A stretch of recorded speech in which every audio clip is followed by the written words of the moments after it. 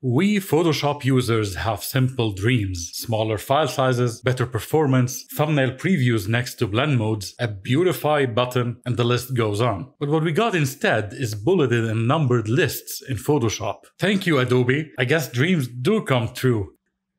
I've downloaded this background texture from the link in the description and using the horizontal type tool, I added a title and a text box. And I want to turn this in-depth tutorial into a numbered list. To do that, let's go to the Layers panel and click once on the correct text layer to activate it. Then go ahead and open either the Paragraph panel or the Properties panel. Both should have this section called Bullets and Numbering. We're going to choose a numbered list and there you go. The text just turned into a list. Beautiful. Now there are some more features to consider. In the properties panel, you can choose one of these presets for the list style. And if you choose a bulleted list, you get more options as well.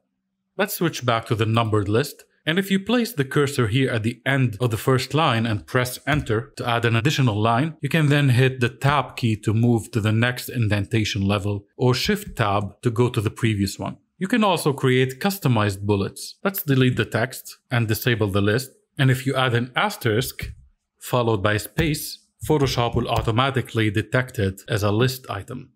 And here are some other symbols you can use. Finally, if you want to disable the auto detection of lists, then simply open Photoshop Preferences, go to Type, and disable automatic detection of bulleted and numbered lists while typing. And that's it. What, what else do you want?